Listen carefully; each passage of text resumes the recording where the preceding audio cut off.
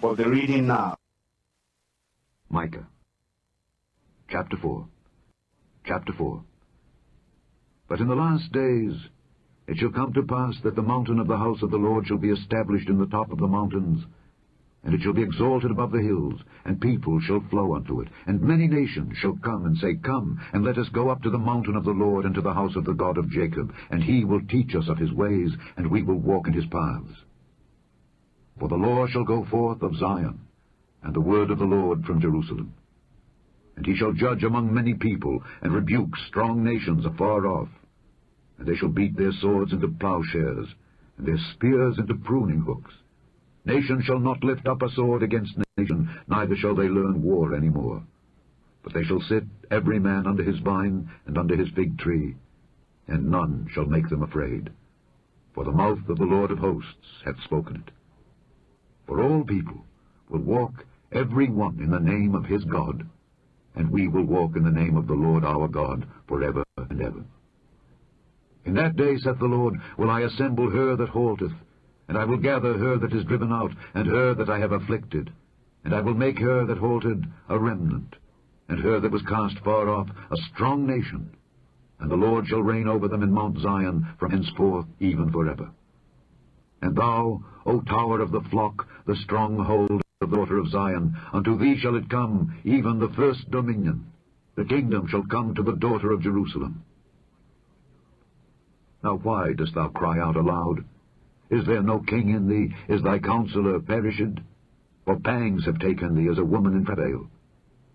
Be in pain and labour to bring forth, O daughter of Zion, like a woman in travail. For now shalt thou go forth out of the city, and thou shalt dwell in the field, and thou shalt go even to Babylon.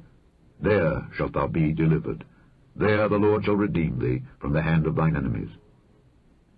Now also many nations are gathered against thee, that say, Let her be defiled, and let our eye look upon Zion.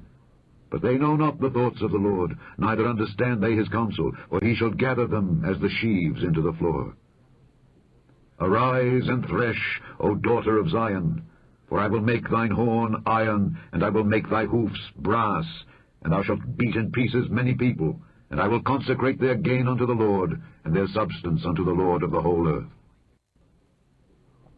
Chapter 5 Now gather thyself in troops, O daughter of troops. He hath laid siege against us. They shall smite the judge of Israel with a rod upon the cheek. But thou, Bethlehem Ephratah, though thou be little among the thousands of Judah, yet out of thee shall he come forth unto me that is to be ruler in Israel, whose goings forth have been from of old, from everlasting. Therefore will he give them up until the time that she which travaileth hath brought forth. Then the remnant of his brethren shall return unto the children of Israel. And he shall stand and feed in the strength of the Lord, in the majesty of the name of the Lord his God, and they shall abide. For now shall he be great unto the ends of the earth. And this man shall be the peace, when the Assyrian shall come into our land. And when he shall tread in our palaces, then shall we raise against him seven shepherds and eight principal men. And they shall waste the land of Assyria with the sword, and the land of Nimrod and the entrances thereof. Thus shall he deliver us from the Assyrian when he cometh into our land, and when he treadeth within our borders. And the remnant of Jacob shall be in the midst of many people as a dew from the Lord, as the showers upon the grass, that tarrieth not for man, nor waiteth for the sons of men.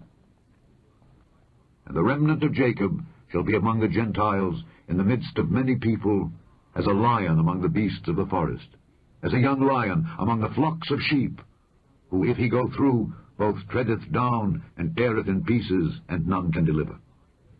Thine hand shall be lifted up upon thine adversaries, and all thine enemies shall be cut off. And it shall come to pass in that day, saith the Lord, that I will cut off thy horses out of the midst of thee, and I will destroy thy chariots. And I will cut off the cities of thy land, and throw down all thy strongholds. And I will cut off witchcrafts out of thine hand, and thou shalt have no more soothsayers. Thy graven images also will I cut off, and thy standing images out of the midst of thee, and thou shalt no more worship the work of thine hands. And I will pluck up thy groves out of the midst of thee. So will I destroy thy cities. And I will execute vengeance in anger and fury upon the heathen, such as they have not heard. You have just listened to the Bible reading And we need to take whatever we have learned to the Lord in prayer. Will you all rise up, please? Talk to the Lord in prayer.